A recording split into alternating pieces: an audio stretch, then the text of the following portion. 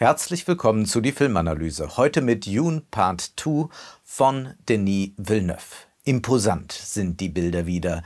Die Totalen sind derart beeindruckend, dass man am Ende denkt, eigentlich ist noch die größte Leinwand zu klein für diese Bilder. Und dann sind da Nahaufnahmen von Gesichtern, die nuancierter nicht sein könnten. Auch das akustische Erlebnis ist außergewöhnlich. Wir haben es hier tatsächlich mit einem Tonfilm zu tun. Wenn man sich Science-Fiction- und Fantasy-Filme ansieht, dann wird da ja einiges an Maschinerie neu erfunden, aber doch ist das eine sehr generische Produktion von irgendwelchen Innovationen oft. Man denkt mitunter, naja, so ähnlich hat man das schon in einem Film zuvor und zuvor und zuvor gesehen. Nicht so bei Dune. Hier werden tatsächlich ganz neue Teile, Gegenstände, Dinge ins Bild gerückt, Formen, die wir so noch nicht gesehen haben. Überhaupt ist dieser gesamte Film skulptural und installativ angelegt. Wir sehen die einzelnen Figuren oft wie Skulpturen und sie bewegen sich dann durch Räume, die wunderbar beleuchtet sind. Wir sehen Sandlandschaften, die wie von Künstlern äh, gemalt wurden. Es ist unglaublich, wie es immer wieder Denis Villeneuve gelingt, Bildwelten aufzutun, die einfach so da sein könnten, die ohne Menschen funktionieren würden. Aber dann gibt es Menschen und es gibt auch ein Problem dann, wenn wir diese Szenen mit Dialog erleben. Ja, Denis Villeneuve ist eigentlich kein großer Fan von zu ausschweifenden Dialogen, aber hier wird ungeheuer viel gesprochen und das mindert manchmal den Seheindruck, da man sich so sehr auf das dort in den Dialogen Erklärte konzentrieren muss. Und vielleicht liegt das an der literarischen Vorlage, aber sicherlich wäre das eine oder andere zu vernachlässigen gewesen und man hätte sich mehr auf die Bildkraft konzentriert und nicht so sehr hätte man dem Wort vertrauen müssen. Es geht zunächst einmal darum, dass Prinzessin Irulan Corino davon ausgeht, dass Paul Atreides noch am Leben sein könnte. Und sie hat recht.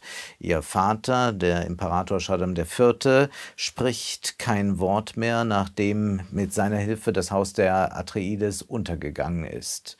Derweil sind Paul und Lady Jessica mit Stilgers Fremen-Truppen auf Arrakis. Und nur knapp entkommen sie einem Angriff der Hakonnen. Für viele Fremen erscheint Paul als der lang erwartete Messias. Aber nur die Fremen, die religiös sind, denken dies. Die Ungläubigen sind weitaus skeptischer. Zu diesen gehört Shani, die von Paul fasziniert ist, aber skeptisch bleibt selbst als sie sich in ihn verliebt hat. Paul kann Shanis Vertrauen gewinnen, als er ihr erklärt, dass er zu den Fremen gehören will, dass er Teil der Fremen sein will und dass er nicht nach Macht strebt. Ist er wirklich von reinem Idealismus getrieben, um das Volk der Fremen aus der Unterdrückung und der kargen Wüstenwelt zu befreien? Er wird mit Shani im Sand tanzen, eine wunderschöne Szene. Er wird einen Sandwurm bändigen. Es gibt eine Liebesszene zwischen Paul und Shani, die sehr zart ist, die aber leider so dezent und diskret inszeniert ist, dass man die Leidenschaft doch nur erraten kann. Es ist schon komisch, wenn man sich sonst für eher zweitrangige Details unglaublich viel Zeit nimmt für ausschweifende Erklärungen, so gerät das, was zwischen Shani und Paul passiert, doch oft äh, in nur verkürzter Weise in den Film. Paul hat dann auch bald Visionen von einem heiligen Krieg und er ängstigt sich davor. Wird dieser Krieg kommen und wer wird ihn befehlen?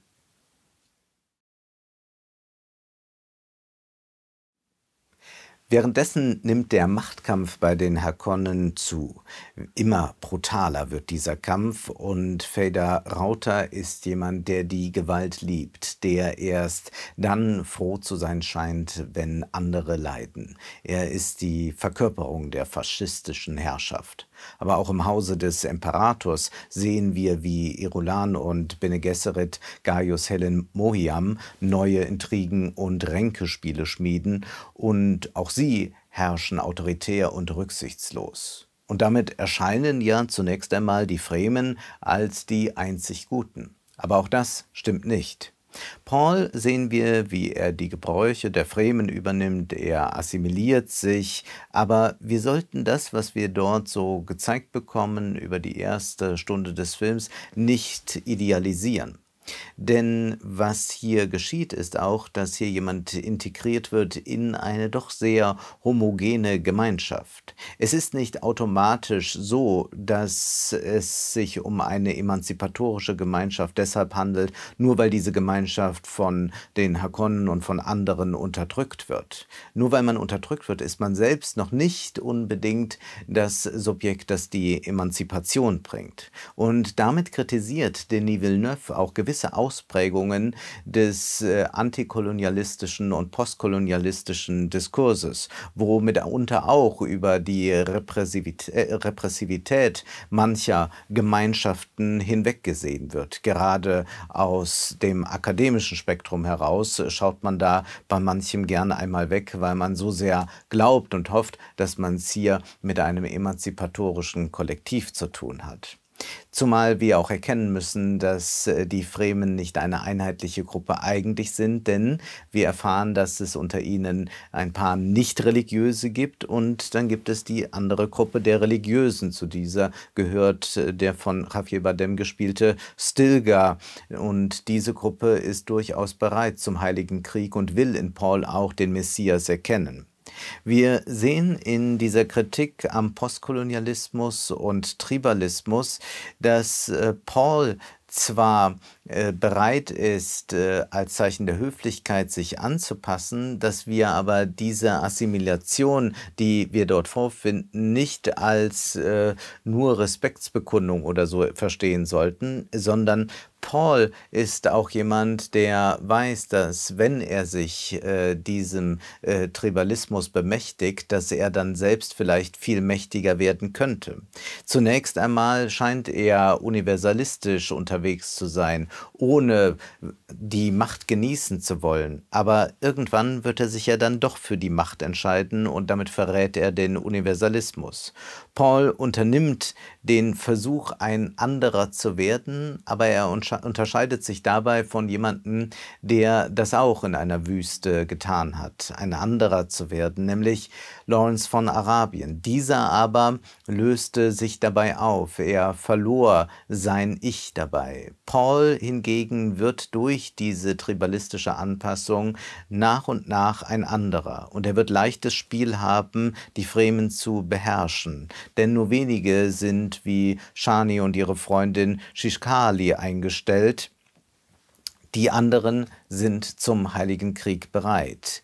Die Identität, die die Fremen als imaginiertes Kollektiv äh, sich immer wieder manifestieren, sorgt dazu, dass sie leicht ideologisch in die eine oder andere Richtung zu bewegen sind. Shani hingegen ist die, die Religionskritik übt und sie ist damit auch die Vertreterin der Ideologiekritik, während die Bene Gesserit die Ideologieproduzentinnen sind. Sie produzieren Religion für die Fremen Bremen sorgen dafür, dass alles so weitergeht. Wir sollten aber die Religion etwas erweitert betrachten, denn generell ist dies ein Film, der sich gegen den Fanatismus richtet. Auch die Demokratie, auch andere Herrschaftsformen können zum Religionsersatz werden und dann ist missionarischer Eifer nicht mehr fern.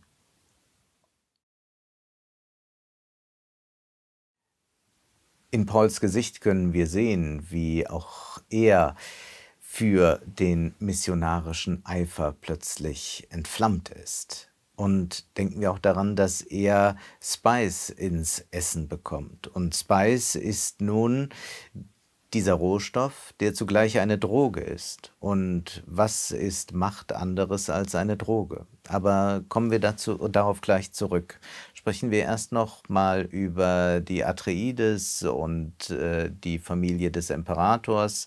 Man kann sagen, das ist eine elitäre Gemeinschaft, aber es gibt auch eine gewisse Liberalität. Man ist machtbewusst, aber wir sehen dann doch im Ausnahmezustand, da ist man machtversessen. Auch demokratische Regierungen repräsentieren ja zuallererst sich selbst, auch wenn es heute in Mode ist, Bürger und Regierung in eins zu setzen. Aber wir sehen ja selbst am US-amerikanischen Präsidenten, dass äh, dieser äh, plötzlich von der Macht äh, so erfüllt ist, dass er seine eigene Gebrechlichkeit nicht mehr erkennen will und noch einmal antritt. Das können wir also, wie die Macht einen plötzlich in äh, ganz andere Ebenen führt, das können wir wunderbar in diesem Film beobachten. Dann gibt es noch die Hakonnen, die ein faschistisches Kollektiv bilden, beziehungsweise kann man gar nicht von einem Kollektiv sprechen, sondern nur von einigen wenigen, wenigen, die die Masse beherrschen. In dieser Masse gibt es keine Individuen mehr. Rauter Hakonnen ist jemand, der nicht mehr den anderen als Menschen oder irgendetwas ansieht, sondern nur noch als Gegner. Was die Führungsfiguren, um nicht zu sagen Politiker der Hakonnen, der Imperatorenfamilie, der Fremen eint, ist das, was Rutger Brechmann in seinem Buch im Grunde gut ausführt. Nämlich, dass wir es bei mächtigen Personen, bei Politikern häufig mit pathologischen Persönlichkeiten zu tun haben. Dass wir die charismatischen Führer, wie sie oft genannt werden, sehr kritisch beäugen müssen. Bregmann schreibt, Macht kann dazu führen, dass die Machthaber ihre Freundlichkeit und Bescheidenheit verlieren, Qualitäten, auf deren Grundlage sie ausgewählt wurden. Siehe Paul, der genau solche Qualitäten zunächst einmal aufweist. Und in einigen Fällen, schreibt Bregmann, waren diese guten Eigenschaften von vornherein nicht vorhanden, denn bedenken Sie, in einer hierarchisch gestalteten Gesellschaft haben die Machiavellisten einen Vorteil. Sie besitzen einen ultimativen Trumpf, eine Eigenschaft, mit der sie ihre Konkurrenz immer wieder ausstechen. Sie sind schamlos. Und wenn wir eines feststellen können, dann, dass wir hier lauter schamlose Herrscher sehen. Bei den Harkonnen natürlich am eindrücklichsten, am offensichtlichsten, aber auch die anderen verhalten sich völlig schamlos. Denken wir nur an das, was die Bene Gesserit tun. Breckmann schreibt dann, dass wir als äh, domestizierte Menschen eigentlich die Scham in uns tragen, dass wir äh, vorsichtig sind, äh, was wir tun, dass wir nicht etwas tun wollen, für das wir uns schämen müssen. Er sagt, es könnte auch eigentlich immer noch gut funktionieren mit der Scham, denn Scham ist effektiver als Gesetze und Regeln, Zensur und Gewalt. Menschen, die sich schämen, regulieren sich selbst, sie stottern und werden rot, wenn über über sie getratscht wird oder wenn sie die Erwartungen ihrer Mitmenschen nicht erfüllen. Denken wir an die vielen Großaufnahmen, die wir von Timothée Chalamets Gesicht sehen, wenn er bei den Fremen ist, wenn er sich ein bisschen eingewöhnt in die Rituale, wenn er aber immer wieder Unsicherheit zeigt. Äh, wie sieht Shani ihn an? Erkennt sie ihn wirklich? Was denken die anderen von ihm? Wir sehen hier einen Menschen, der durchaus schambehaftet ist in einer gesunden Weise. Aber diese Scham, die legt er dann nach und nach ab. Brichmann schreibt, leider gibt es immer auch Leute, denen jegliches Schamgefühl abgeht. Ich spreche von Menschen, die unter der Droge Macht stehen oder von einer kleinen Minderheit, die mit soziopathischen Zügen geboren wurde. Und beide äh, Personengruppen, die Brichmann hier beschreibt, können wir dann im Film sehen. Weiter heißt es im Buch, Politiker, die kein Schamgefühl besitzen, können Dinge tun, die für andere schlichtweg unmöglich sind. Und er fragt dann, bezeichnen Sie sich selbst als größten Denker des Landes, prahlen Sie mit der Größe Ihres Geschlechts, lügen Sie, werden erwischt und lügen dann schamlos weiter? Die meisten Menschen würden im Boden versinken, wie auch die meisten Menschen nicht den letzten Keks aus der Schale nehmen. Aber so manchem Herrscher wäre das vollkommen gleichgültig. In einer solchen Welt treibt es nicht mehr die freundlichsten und empathischsten Führer an die Oberfläche. In einer solchen Welt ist es vielmehr umgekehrt. Survival of the Shameless. Und das zeigt uns Denis Villeneuve zweieinhalb Stunden lang. Wir sehen bis auf Shani nur schamlose Persönlichkeiten. Das Erröten, das Schwäche zeigen, das wird sich auch im Gesicht von Timothée Chalamet ändern. Wir werden Verhärtungen dort sehen und wir werden zugleich in Zendayas Gesicht die Enttäuschung ablesen können. Shani ist dabei aber keine Heldin im Sinne einer Anführerin. Frank Herbert, der Autor von Dune, sagte einmal, I wrote the Dune series because I had this idea that charismatic leaders ought to come with a warning label on their forehead may be dangerous to your health. One of the most dangerous presidents we had in the century was John F. Kennedy because people said, Yes, sir, Mr. Charismatic Leader, what do we do next? And we wound up in Vietnam. And I think probably the most valuable president of this century was Richard Nixon, because he taught us to distrust government and he did it by example. Und diese Logik, die hat Denis Villeneuve wirklich verstanden und integriert sie in den Film und schafft da auch eine erstaunliche Klarheit. Und wir brauchen diesen Film genau heute so sehr, weil die Medien ja wieder dabei sind, gerade da, wo Leute sich als Retter der Demokratie oder so aufspielen, blinde Gefolgschaft zu leisten. Die Kamera leistet auch Ideologiekritik, indem sie Shanis Blick immer wieder übernimmt. Wir sollen uns auch in den charismatischen Führer Paul verlieben. Und wir tun es. Und es ist dieser Blick dann wiederum von Shani, diesen Blick, den wir sehen, der sich eintrübt, als Paul sich dann peu à peu verändert. So erzählt uns dieser Film keine Heldenreise und unterscheidet sich damit fundamental von den üblichen Blockbustern.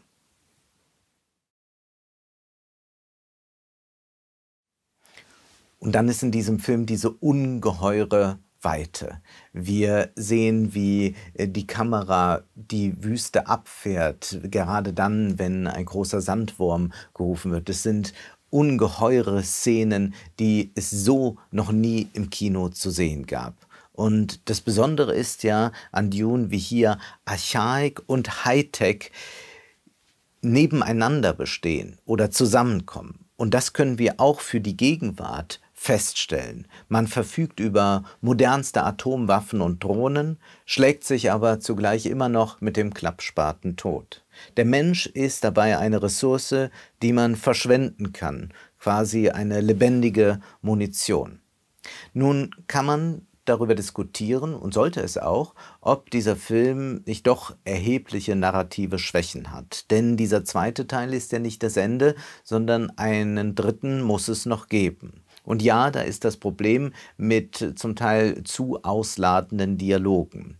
Unter filmkritischen Kriterien, die man an einen Science-Fiction-Blockbuster anlegt, fällt es nicht schwer, den Film zu kritisieren. Da sind merkwürdige Auslassungen und Sprünge. Gleichzeitig werden kleinere Konflikte oder Unterweisungen zerdehnt. Dann blickt die Kamera wieder sehr, sehr lange in die Landschaft und noch länger und noch länger. Plötzlich haben wir eine weite Strecke räumlich wie erzählerisch zurückgelegt, ohne dass wir genau gemerkt haben, wie sind wir jetzt von dorthin an den anderen Platz gekommen. Man könnte dies zweifellos als Manko des Films auslegen, jedoch würde einem so das Entscheidende entgehen. Es ist primär ein Film über Geopolitik und auch die Kontingenzen der geopolitischen Situation. Denn man sagt im Nachhinein immer gern, dies war von langer Hand geplant, dieser Anschlag, dieser Krieg, was auch immer. Aber interessant ist ja, dass wir doch immer wieder äh, mit Plötzlichkeit konfrontiert werden und wir retrospektiv dann solche Formulierungen haben, war von langer Hand geplant. Aber Plötzlichkeit ist eigentlich das, was äh, die geopolitischen Konfliktfelder ausmacht. Pauls Brautwahl ist nur ein Beispiel für diese Kontingenz der Geschichte, sicherlich das deutlichste Beispiel, aber dieser Film arbeitet permanent davon, damit, dass wir lange mit der Kamera auf eine Wüstenlandschaft blicken, denken, da bewegt sich doch eigentlich gar nichts, und dann erscheint plötzlich etwas, und diese Plötzlichkeit, die bringt alles durcheinander und plötzlich entstehen ganz neue Machtkonstellationen. Hinzu kommt, dass wir diesen Film als ganz klaren Kommentar auf unsere Gegenwart verstehen müssen, denn hier ist auch von Atomwaffen die Rede und äh, dass äh, jedes Herrscherhaus über solche verfügt. Irgendwann, so ist ja auch die Gefahr mit den Atomwaffen, verändert sich etwas abrupt. Da gab es die eine oder andere Auslassung, irgendwas wurde nicht mehr so richtig kommuniziert und schon hat sich alles verändert und schon beginnt die Katastrophe. Wir blicken hier auf Sandlandschaften. Und ein Sandkorn ist letztlich Teil von verwittertem Gestein, das von Sonne und Wasser geschliffen wurde. Es ist der größtmögliche Kontrast zum handelnden Subjekt, das ja für Aktivität steht. Sand ist das Produkt reinster Passivität. Der Wind und die Sandwürmer bewegen den Sand, aber er bewegt sich nicht selbst. Inwieweit aber bewegen sich die Menschen der verschiedenen Völker?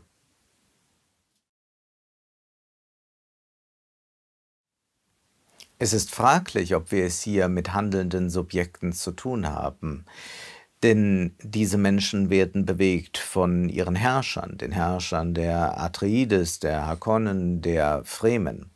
Insofern ist Dune eine hochinteressante Reflexion darüber, was eigentlich der Antrieb der Geschichte ist. Wer bewegt hier wen? Und dieser Film macht mit dem Sand und den einzelnen Herrscherfiguren den größtmöglichen Kontrast auf und Denis Villeneuve meistert diesen Kontrast herausragend ästhetisch zum Niederknien. Die Gesichter verändern sich. Deswegen sind die Großaufnahmen nicht einfach Konvention, sondern sie sind ganz entscheidend, um etwas zu erzählen. Nämlich gerade wenn es um die Beziehung zwischen Timothée Chalamet, also Paul, und Zendaya Shani geht. Sie sind Verliebte. Und in der Liebe ist es ja so, dass diese manchmal ganz plötzlich ändert, man nicht mehr weiß, was ist da eigentlich geschehen und dann ist es vorbei. Irgendetwas ist da. Roger Willemsen nannte es den Knacks. Und diesen Knacks, den können wir in den Großaufnahmen sehen. Und zugleich ist dieser Knacks es auch, der kommen kann in einem großen geopolitischen Ränkespiel und plötzlich ist alles anders und ein Krieg bricht aus. In Dune Part 2 ist die private Ebene damit auch politisch. Hier geht es nicht um, das sind die Guten, das sind die Bösen. Damit unterscheidet sich dieser Film auch fundamental vom Star Wars-Universum. Und jetzt fragen wir uns nach nun insgesamt fünf Stunden Dune, die Heldenreise führte in die Irre, die Revolution blieb aus, es folgen Regression und Regression. Ja, wir müssen auf einen dritten Teil warten. Aber Teil 2 hat hier keine narrative Schwäche in dem Sinne, sondern er zeigt uns eigentlich, wie wir mit unseren üblichen Denkmustern an tote Punkte gelangen, wie wir nicht weiterkommen, indem wir einfach das, was schon vorher nicht funktioniert hat, immer noch weiter verstärken, quantitativ oder qualitativ. Dune Part 2 zeigt damit die globale Konstellation unserer Gegenwart. Erstens ist da der angeblich verantwortungsvolle Westen, die Atreides, ja, er hat sich zutiefst in Ausbeutung und Schuld verstrickt, von Kriegstoten bis zu Opfern des Klimawandels, um unseren Spice-Abbau fortzusetzen. Ein Imperator, der nicht spricht oder ein Präsident, der sich ständig verspricht, wo ist da eigentlich noch der Unterschied? Und Paul, der steht für den Jungpolitiker, der medial als Superheld inszeniert wird, der aber schon sehr bald von der Macht trunken sein wird. Zweitens ist da der Faschismus. Er ist in vielen Teilen der Welt und vor unserer Haustür auf dem Vormarsch und für immer mehr Menschen, vor allem Männer, scheint das Reich der Hakonnen erstrebenswert. Und drittens ist da der heilige tribalistische Fremenkrieger. Und diese Fremenkrieger erinnern an islamistische und evangelikale fundamentalistische Gruppierungen, deren angeblicher Befreiungskampf eben nicht in die Freiheit führt. Wir hoffen also auf Shani.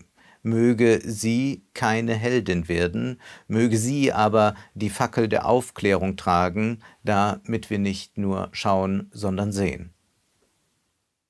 Wenn Sie die Filmanalyse finanziell unterstützen möchten, ist das möglich via Banküberweisung oder per PayPal.